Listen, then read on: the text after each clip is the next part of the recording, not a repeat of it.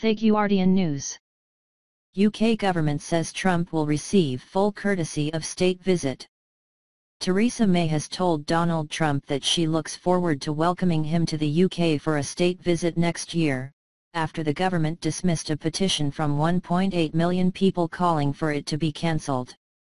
The Prime Minister had a phone call with Trump on Tuesday afternoon in which the visit was discussed, along with trade and security.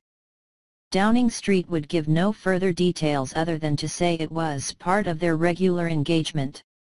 The Prime Minister said she looks forward to welcoming him later this year, a spokesman said.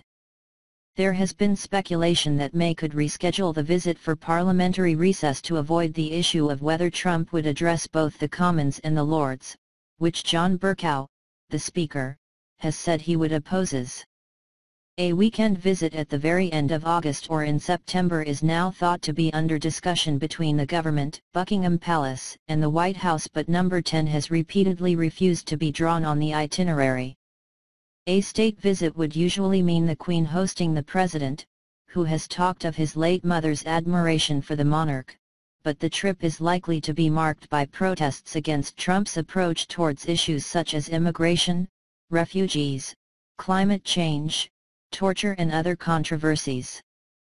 Outgoing Met Commissioner Sir Bernard Hogan-Howe said on Tuesday the cost of policing state visits and protests is a drain on policing, as he pressed the government for more money to keep London safe and stop money being diverted from regular law enforcement. Hogan-Howe, who retires later this month, said, I'm sure the government recognizes the economic value of a safe capital and won't put my successor into the position of having to choose between this and keeping our neighborhoods safe. He said peaceful protests after Trump's travel ban that were staged in London required 500 to 1,000 officers to be deployed in case they turned violent. Earlier on Tuesday, the government wrote to the 1.8 million people who signed the petition against Trump's visit, saying he should be granted the full courtesy of a state visit to the UK. The petition, which is being considered for debate in Parliament, called for Trump to be allowed to enter the UK but not be granted an official state visit because it would cause embarrassment to Her Majesty the Queen. Trump was invited on a state visit to the UK by May when she travelled to Washington last month. Official invitations for such visits, which include meeting the royal family, are not usually extended to U.S. presidents until several years into their terms.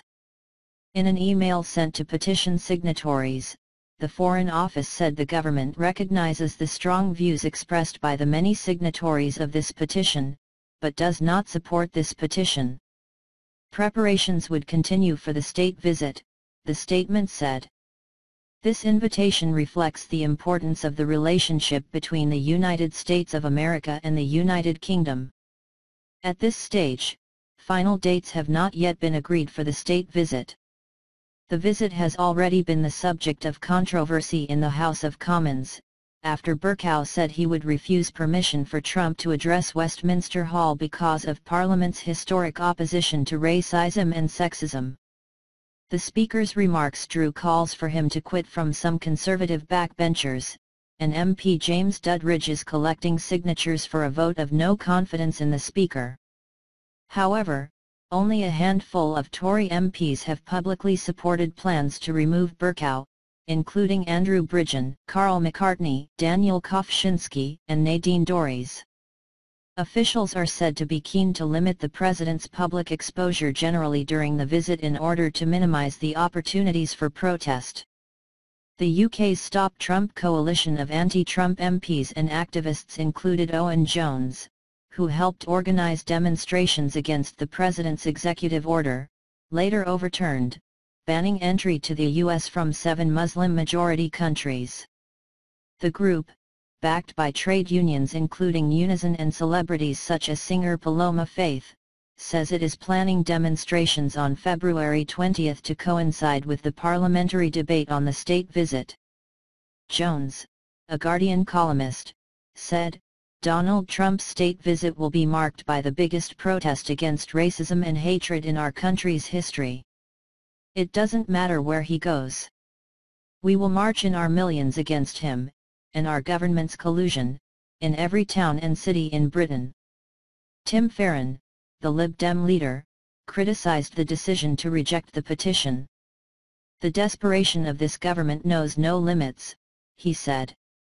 Rolling out the red carpet to a man who stands for everything that Britain doesn't is disgusting.